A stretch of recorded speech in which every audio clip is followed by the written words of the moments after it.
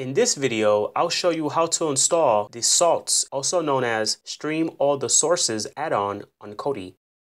First, go to System, then go to File Manager, then go to Add Source, then set the path to http colon forward slash forward slash fusion.tvaddons.ag. A link will be in the description box below. Then name the source Fusion.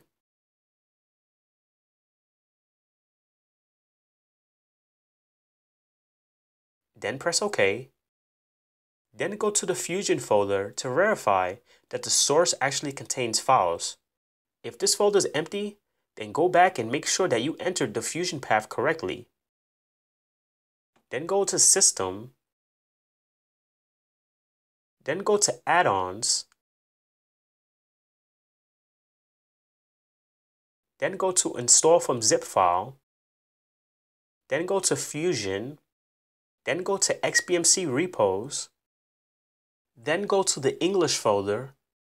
Then go to repository.tknorris release. Then click OK. Then wait until the repo becomes enabled. Then go to Install from repository. Then go to the tknorris release repository. Then go to Video Add-ons. Then go to Stream all the sources. Then click Install. Then wait until the add-on becomes enabled. Then go back to the main menu. Then go to Videos. Then go to Video Add-ons.